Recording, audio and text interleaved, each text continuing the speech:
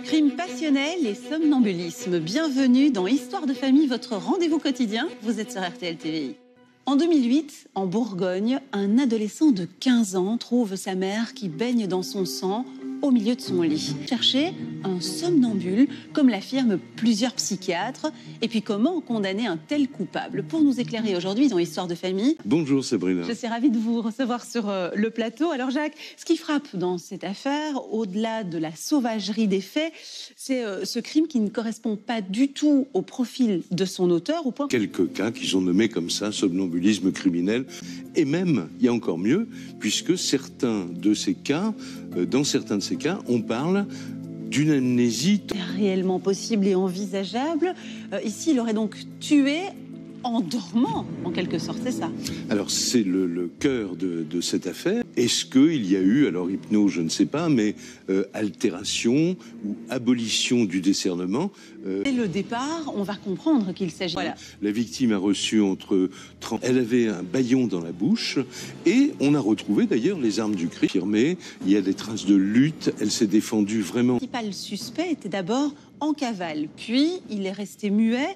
Est-ce qu'on va enfin obtenir un crime Et en plus, il ajoute quand euh, il est interrogé par le juge d'instruction. Et donc la bipolarité, c'est quoi? C'est une maladie mentale? Ça se traduit Alors, comment chez Là, là c'est une. Ouais. Ça veut dire que ce sont des gens qui ont vraiment une double paix jusqu'au suicide. C'est une personnalité euh, en dents de scie. Est-ce que c'est à ce point-là? Ils ont pu euh, répertorier les témoignages de neuf personnes. Et c'est là, Jacques, qu'il va craquer? Mais oui, finalement, parce que les accablantes. Mhm. Alors, d'un côté, sur, sur ses motivations, sur les raisons qui l'ont poussé à agir de la sorte, parce que finalement, il y a toujours pas mal de zones d'ombre autour de ce mobile. il y a d'énormes zones d'ombre, donc, euh, mais euh, il- si vous voulez, il y a une formule célèbre euh, que tout le monde connaît, mais qu'il, qu'il, je suis coupable. Bah oui, mais je suis. Jacques, Patrick, dans cette affaire, il sera condamné à 20 ans de réclusion criminelle avec 10 ans. Ça veut surtout dire que le jury, la cour, le président, peine euh, lourde. Euh, donc voilà. Euh, sentiment personnel sur cette affaire. Alors c'est pas difficile. banal quand même. Non, mais c'est difficile de, de donner un sentiment personnel là-dessus. Je dirais d'abord, les avocats ont fait leur travail. Euh, pas de procès. Il n'y a même, Il y a pas, même de pas de procès. procès. Ah non, absolument. Et s'il y a seulement altération, euh, alors il risquait 30 ans. On le condamne à 20.